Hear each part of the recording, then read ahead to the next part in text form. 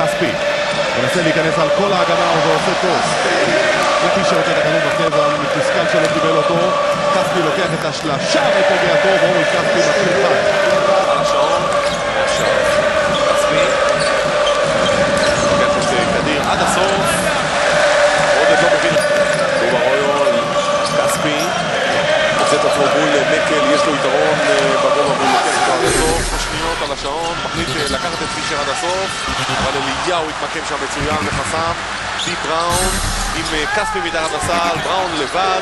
כספי עכשיו עם הכדור.